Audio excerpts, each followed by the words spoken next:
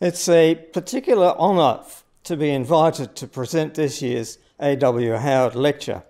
The only connection I have with Alfred Howitt is that we both spent considerable amounts of our working life in the mountains of eastern Victoria, mapping its Paleozoic rocks. Both of us did part of this work along rivers. AW accompanied by uh, an, an Aboriginal man, and I with a party of fellow geologists.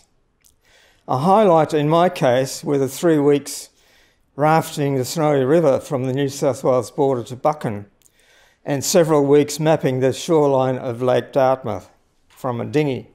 One of the principal problems that a geologist has when mapping an area is how old are these rocks? With igneous rocks, meaning those rocks that have crystallized from a liquid magma, it can be done by precise measurement of radioactive minerals, which will give you an absolute age.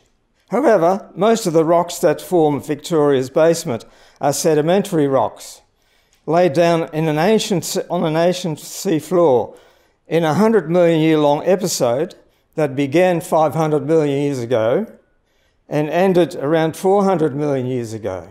There are places where the two mix. For instance, in, in North America, uh, the graptolitic sequence has tuffs interbedded in it. And these are, these are volcanic eruptions that big enough to have material falling into oceans, settling down into a bed. That's a tuff. And this has got radioactive minerals in it. So you can tell the precise age of these things. Same in, uh, in uh, Norway, in, uh, in Scandinavia, they have the same. These rocks can only be dated using fossils, and this is where graptolites come in. We have a fossil, uh, a, uh, a, fossil called Climacograptus bicornis, which is an important correlation tool worldwide because it's found worldwide. Nemagraptus gracilis is another beautiful looking graptolite. Beautiful arc like that, big things coming out the outside. Lovely thing. When I found that in a museum, only about a third of it was exposed. No, a quarter of it was exposed. I had to dig out the rest of it using a, a, a, a pneumatic um, drilling tool. So, what exactly are these graptolites? They're quite small, mostly less than 10 centimetres across, and their most characteristic feature is the jigsaw profile of their branches, as you can see here. This slab from Willie's Quarry near Woodend shows at least half a dozen different species, other than the big one, which can be seen hiding in the branches. Like these V-shaped ones here, Isograptus and Parisograptus. This big V-shaped one here, also different species of Isograptus. These oval ones here, Phyllograptus, and this much more slender and smaller specimen here. These are typical of Victorian graptolites in that they lie flat on bedding planes in the shale. However, there are places where you find graptolites that are much better preserved. In some limestones, for instance, the original material that housed the graptolites can be preserved in 3D and that they can be uh, dissolved out with acid. This shows that the colonies are constructed of simple tubes which are the branches, with small overlapping tubes on one side of the branches, giving access to the outside. Hence, the entire structure is called tubarium, and the individual branches are called stipes. From such simple beginnings, it's of course obvious that there is scope for enormous variation. These are tubaria of six different species, six different genera, using the number of stipes and the pattern and spacing of branching as identifying characters. In the one on the top left, there's no systematic branching pattern, but nevertheless, it's able to fill the space fairly evenly. The next one in the middle has a similar sort of branching, but it's much more regular, much, much better space, much more organized. The one on the top right has its branches joined by little joins, it's called the sibilants, to stop them from tangling. Uh, same and the one at the bottom right. The middle one at the bottom has much more spaced branching. So you get a very much more open effect. And the one at the bottom left is a, is a cone, now flattened, of course. In this sampling here, the branching pattern is much clearer. Seven of these have only four terminal stipes, but all have completely different appearances. These, these, these, these, that one, and that one. They all have four stipes, but they all look very different, very different in plan. These ones here have four stipes, but they're joined back to back like that, so that when you look at them from the top, they look like a cross.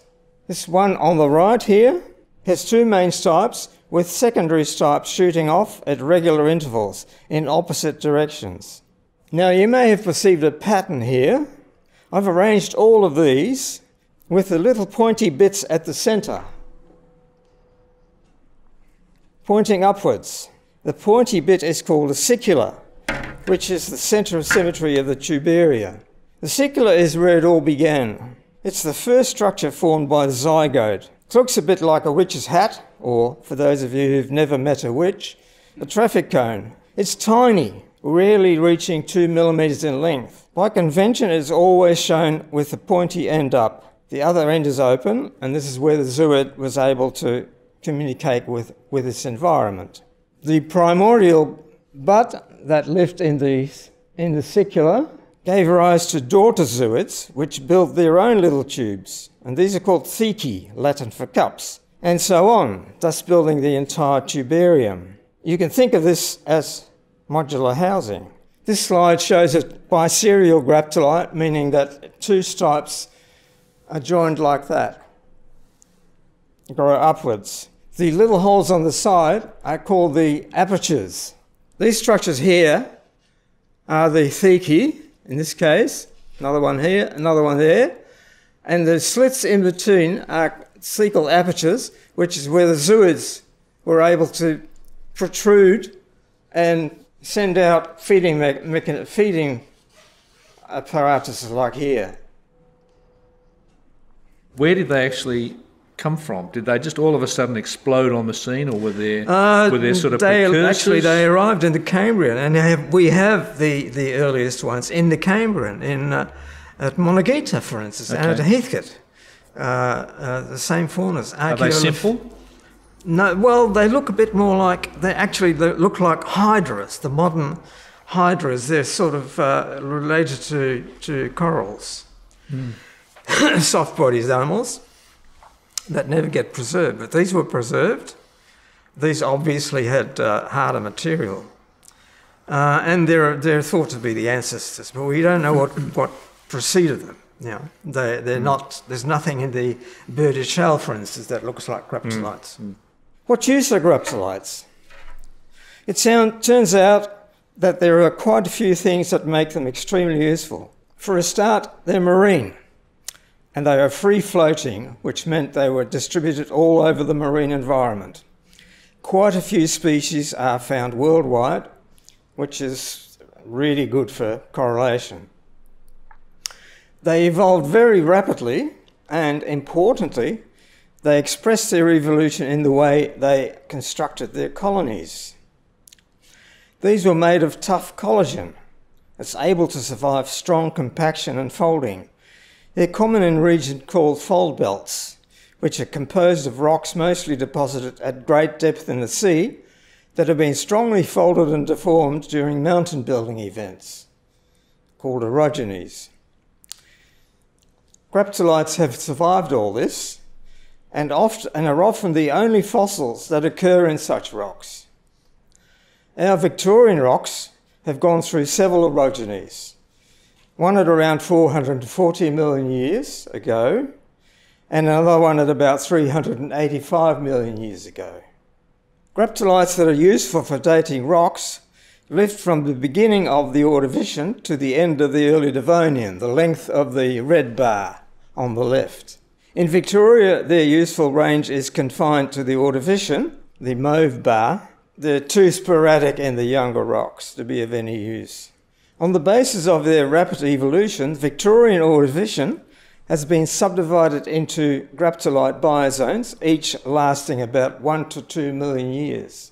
By zonation, I mean the arrangement of rocks into succession of packages, each with its own top typical fossil or fossils, a bit like numbered pages in a book. These are arranged in groups of zones called stages, in the middle column there, Bolindian Gisbornian. They're named from places where the faunas of that particular stage were best shown, like Lancefield at the bottom, Castlemainian, the darker blue one, etc. How was this achieved? Well, surprisingly, there are fewer than half a dozen people who worked out the Ordovician graptolite zonation in Victoria as we know it today. So, who were these people? The first person to collect systematically from Castlemaine area was Thomas Sergeant Hall, who in 1893 and 1895 published a landmark study that arranged the faunas he collected in Castlemaine and knew about elsewhere into these seven zones. By 1905, he had given names to these zones, and these names are still in use today. The next major advance was made by a schoolmaster. William Harris collected graptolites in the Castlemaine region, where Hall had cut his teeth.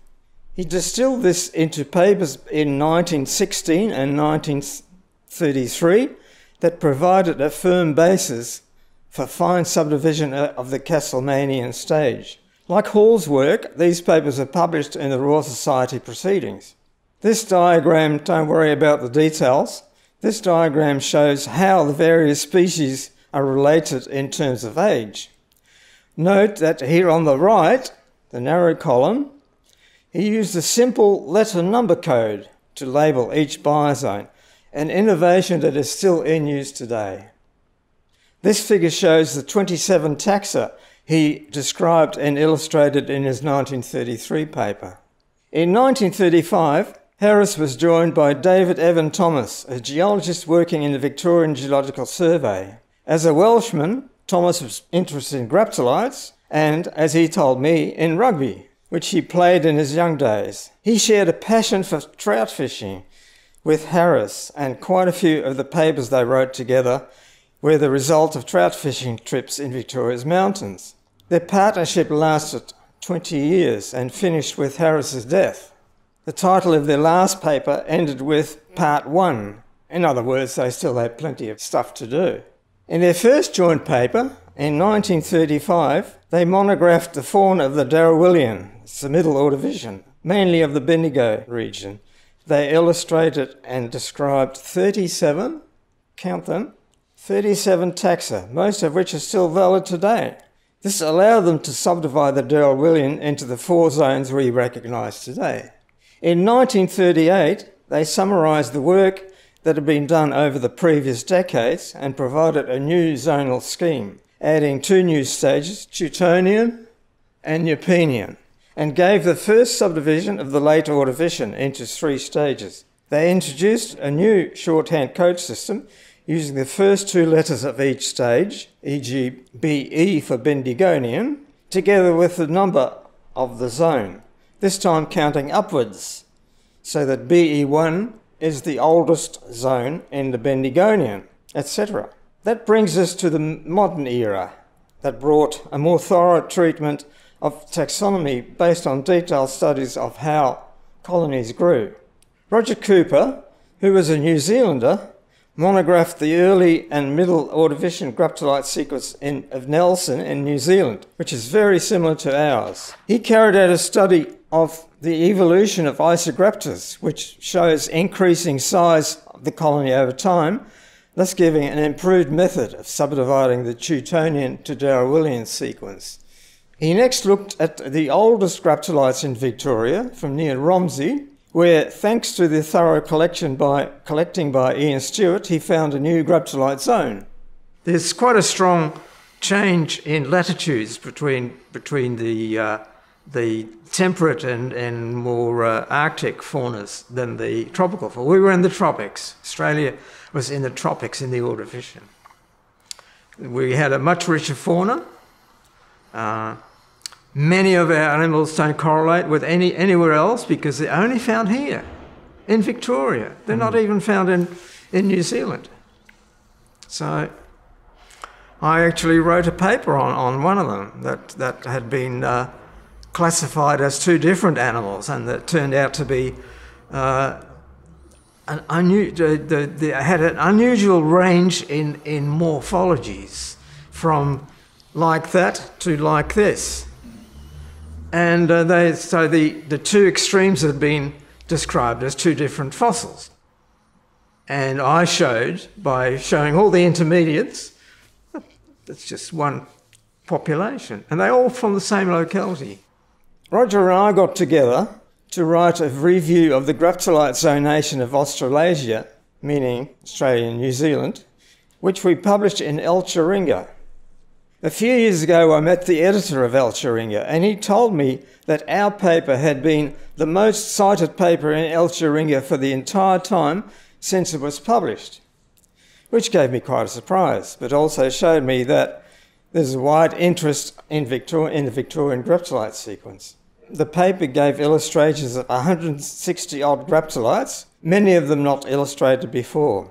It included an entirely new zonation of the late Ordovician, based on my collections from East Gippsland, and a global correlation of the most important graptolite sequences. The Victorian sequence is, on, is the left narrow column, and you can see by the spacing of the lettering that's actually the most subdivided sequence in the world we use things like zone fossils to correlate, to tell, like this country over there has a collection of, of graptolites, and it has a couple of graptolites that we find in one of our collections, and they, they immediately know that they must be of roughly the same age. And that's the way correlation works. And that's the way you can build up a zonation because then you know that zone B sits on top of zone A and zone C is a bit higher, etc. Because they in, in, in overseas they can collect uh, in successions in in, in uh, outcrops that range over you know, for quite a, quite a distance, and they can do collections in spots and say, oh yeah, this is higher than that, and that's lower than that. We can't do that. We can do that in, in uh, Yalmy, where we, we can walk up a creek and then collect here and then there. Oh, yeah, oh, yeah, we've got, okay, we've got three or four different zones here. We now have an Ordovician rock sequence subdivided into 30 layers called graptolite zones, each with its own label and, more importantly, its own graptolite. This is the dream of geologists. We can walk to an outcrop and if it has graptolites in it, we can determine whether it's older or younger than the outcrop down the creek. No other paleontologist can do that. They have to, they have to use a laboratory. They have to extract the fossils. We can see them. So what can we do with this skill? Well, I'm going to show you. On this map of Victoria, you can see that the eastern two-thirds of the state has rocks that could potentially have graptolites. I've selected two places where graptolites have been instrumental in mapping the rocks. First, the Bendigo Goldfield. The rocks in this region are very monotonous slates and sandstone, and the only thing that can be mapped without the aid of fossils is folds. I will trace you the bedding in this cutting here. Here it goes, up there, up there, up there, and then it comes down here. And uh, down there and there, and then it comes up here again. So there are two folds in this outcrop. Actually quite hard to see. These sort of rocks are typical of the entire Bendigo zone. So graptolites are the only way to map these rocks. Graptolites have been collected from the Bendigo region since the middle of the 19th century. And over the years, graptolite identifications from more than 3,000 localities have been gathered into a register. It's now available in digital form, by the way. These have made it possible to map the geology of the Bendigo goldfield at 1 to 10,000 scale on three maps that form a continuous north-south strip. This is one of those maps. Here the sequence has been subdivided into these seven units on the bottom left, coloured. Colours range from blue, the oldest rocks, through brown and yellow, to purple, the youngest rocks in the deepest synclines. What this map shows is zigzag pattern of plunging folds and how, for instance, and how continuous many of the folds are.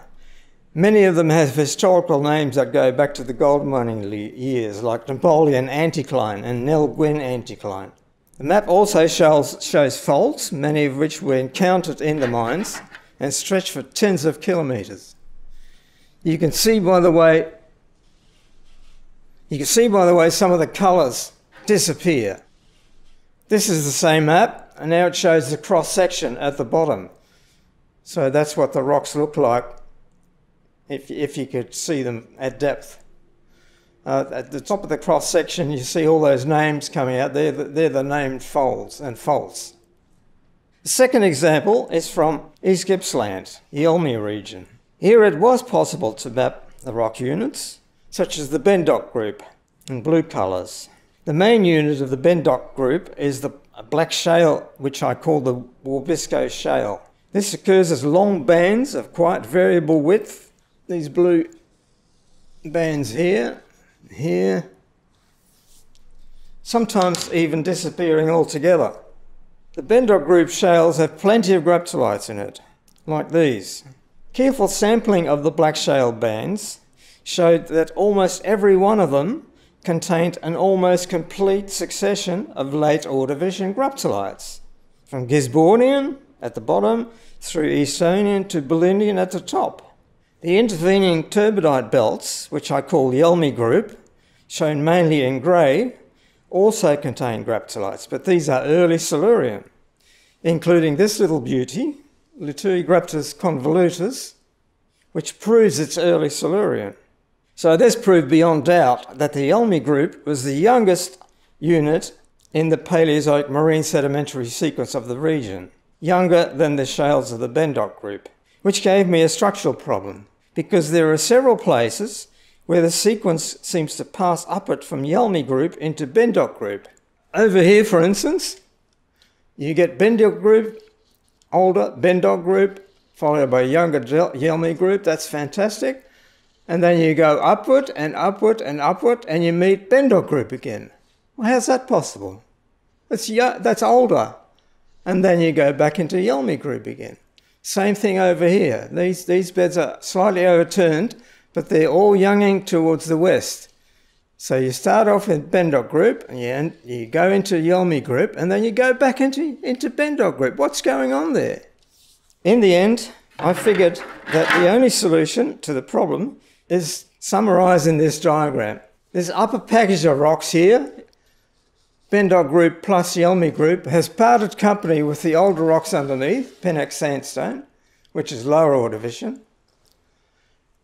along this long thrust, detachment it's called, and within that, within the upper sequence, there are multiple folds that climb up from the, from the base so that you can get Bendoc Group overlain by Yalmy Group here, but over here back end you go back into Bendoc group. Over here, it's these major faults that you just cannot see because the Bendoc group happens to be a very slippery unit, which is acted like an oil, like a lubricant.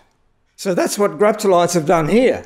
There's no way that it could have been worked out without the precise dating of the rocks that we get from the graptolites. Now I just want to spend the last few minutes on something that has received very, very little attention in the graptolite literature. Many of the smaller graptolites have spines. Why should this be? They're very sharp, as you can see. The obvious answer is for protection. During the long hours I spent looking down microscope of, at graptolites, I found the reason why protection was necessary. It was obvious that many of them had been attacked. You can see it on this slide over here over here. And you can see it even better in this slide here.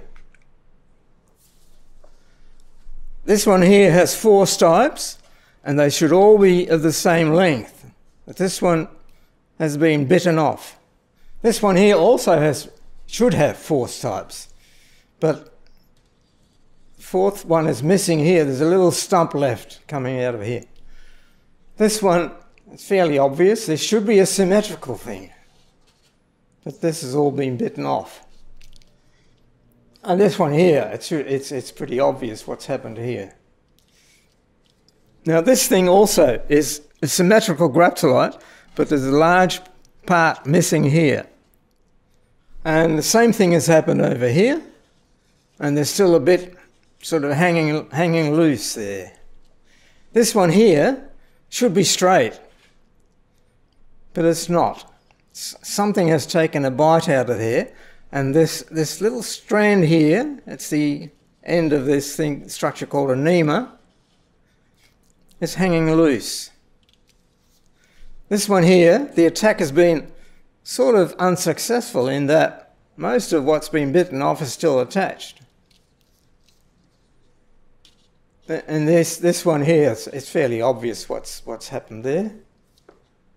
Same here. Chewed away. This one's been torn apart. And this one, which, which should look like that, the whole top's missing. Where should we look for the guilty parties? One possibility is that the eel-like vertebrates that bore conodonts did the damage. Conodonts are tiny tooth-like structures made of phosphate that are found loose but can be reconstructed into fearsome looking apparatuses as on the top left. Just as well they were so small. As you can see from the scales on the right hand figure, those bars are 0.25 millimetres long. So one millimetre is four of those bars end to end. There may be other candidates, but we just don't know. Fish, very little known about ordovician fish. Mollusks, Cephalopods are present in the ordovician, but we have no record of their feeding habits. The crustacea is similar. So what we need in Victoria, or around the world, is a Burgess shale of ordovician age, because the Burgess shales revealed so many animals that we knew nothing about, that, you know, there's still a lot not known. The fossils that are known from the, the Baltic, uh, they're little sessile things, you know, tiny things, growing on the sea bottom, and they're simple little tubes, but they have the same sort of rings from half rings from which the uh, graptolite tubaria are built. It's the only other animal that does it in the world. Uh, no other phylum has animals has constructions like that. And uh, about five years ago, uh, a, a, mate of mine, um, Charles Mitchell, wrote a paper uh, listing all the points where graptolites, that graptolites have in, in common with this little thing, Rhabdopleura, uh, and he says that's a graptolite. It's a living graptolite. Fons, you've obviously had uh, a lot of material to work with, a huge geological collection going back to the, the 1850s when all this uh, first geological surveys were going on in Victoria. Um, where is that material and how did you get access to it? I think it's the largest uh, single collection in Museum Victoria, and it's one of the most important ones in the world, I think.